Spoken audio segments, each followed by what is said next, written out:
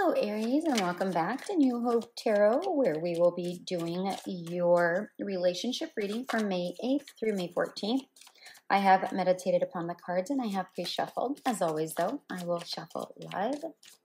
During meditation, Spirit showed me a corkscrew, a wine opener, uh, but it was the older one, not the automatic one. So, and they only showed the the handle up on top which tells me that you have to work for something. That was the feeling that I got that there's work to be done in order to get to that wine. Okay? That's that's what I got overall. Okay? Then for your oracle card, we have believe. And the card reads, May the sea deepen your faith. Yeah, if let's say for instance you're going through some troubled times within your relationship this is work for it. You know work for it. Not everything is easy. Not everything um, is going to be um, you know fast and easy going. Okay? Then we have chemistry and chemistry reads, there's a strong magnetic attraction here. Okay. So for those in a relationship, or even for, so for those who are not in a relationship, this is basically saying, listen, um, have faith that, you know, something is coming your way. Something that is worth having is worth waiting for, worth working towards. Okay. In chemistry, this is saying there's a strong magnetic attraction here. I do feel like um, there's attraction, physical attraction, maybe emotional attraction here. But either way, I feel like what this is really saying is the fact that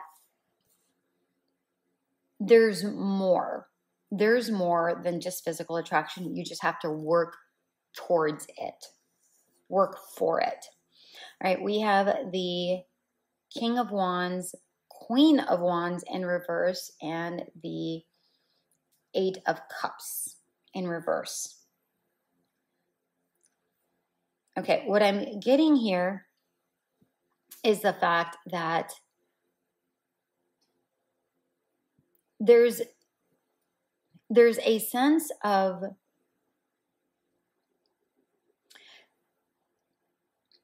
there's a sense of ego, is what I'm getting here. Whether it's yours or theirs, I'm not 100% certain, but I'm getting a sense of ego here. And not that ego is a bad thing, as long as it's, uh, you know, like a sense of confidence. But what I'm getting here is maybe ego is blinding you to seeing something that is really there, right? So let's say, for instance, you find this person attractive in some sort of way, shape, or form, but they are not your typical type. So maybe you're trying to convince yourself, no, they're not my typical type.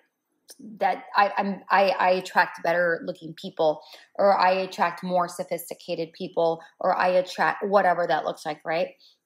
Whatever it is, I, they're not the typical person that you are typically drawn to. But either way, you're still drawn to them. And I feel like your ego is trying to overcome your your heart.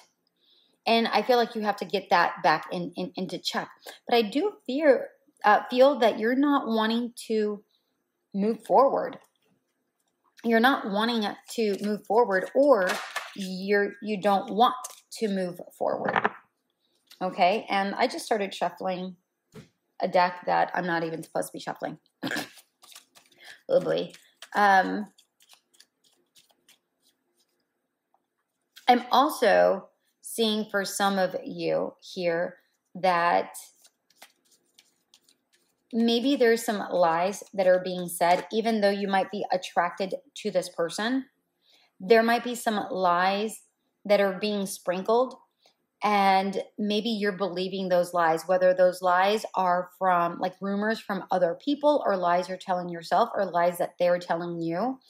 And maybe you're afraid to move forward from this situation. Um, and you're not wanting to really really have the conversations with this person whether it's real or not whether these these rumors are true or not. I feel like you're just not wanting to approach this conversation and i feel like you really should. Then we have the 10 of wands in reverse the 3 of wands and the king of cups. Okay. For some of you, I feel that this is just becoming overly burdensome, this relationship, and you decide that you're going to move forward and go towards somebody that is going to be more emotionally available to you.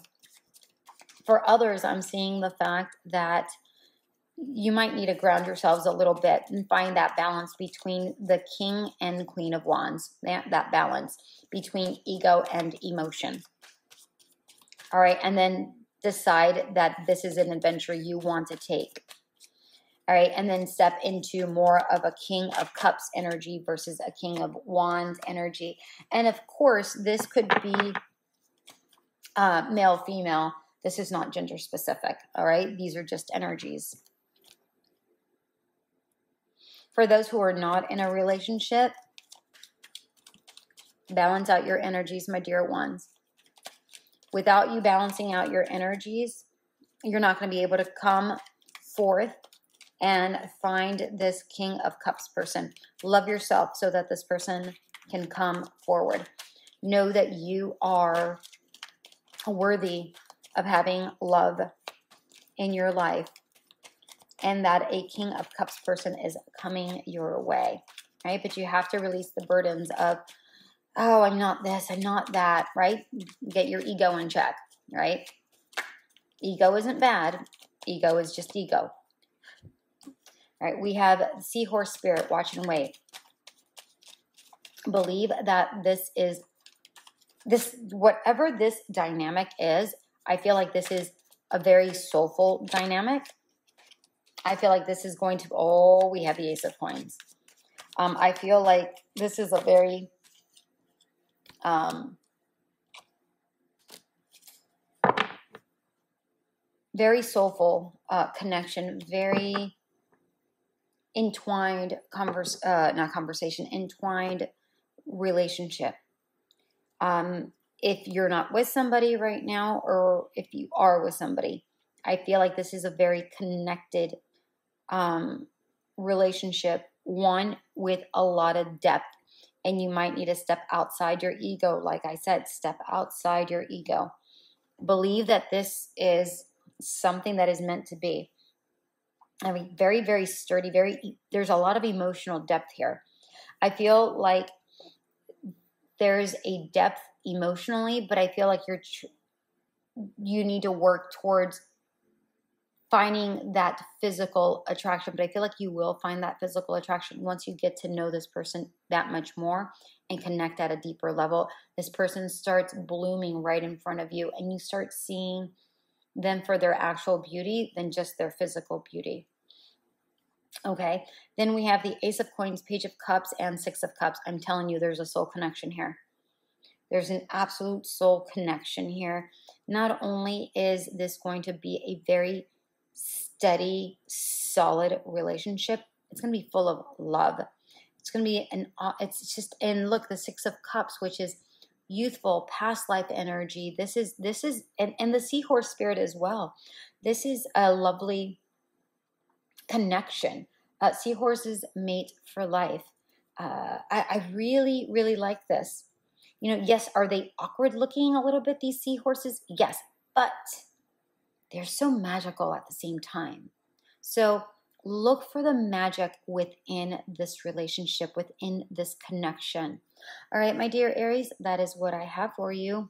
Work for this relationship. All right, it's going to be worth it. All right, my dear ones, until we meet again, bye.